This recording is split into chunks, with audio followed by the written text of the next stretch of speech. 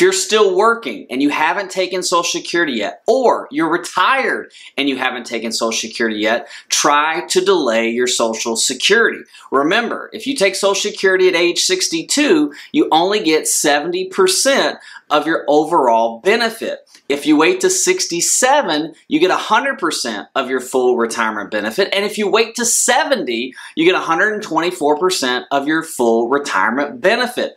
The longer you can delay Social Security, the more money that you're going to get in your pocket.